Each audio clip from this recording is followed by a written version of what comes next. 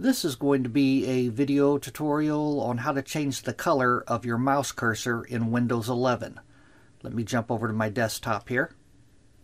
Okay, to change your mouse cursor color in Windows 11, what you want to do is go down to the little magnifying glass down in your taskbar. You want to click on that. Then in the search field up here, you want to type in mouse settings. And then off to the right here, you can see it says mouse settings. I'm going to click on that. And then down here towards the bottom, mouse pointer, you want to click on that. And then right up in here, under the mouse pointer style, you want to click on the little colored cursor.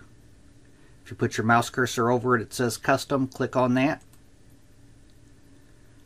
Now you could select one of these colors here for your mouse cursor. These are recommended colors. Or you could click on the little plus box over here, choose your choose another color. I'm going to click on that. Now it gives you a little color box here. You could choose one of these colors here. Or you could click on more.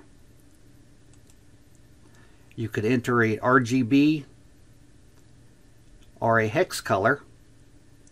But that is how you change the color of your mouse cursor in Windows 11. Thanks for watching.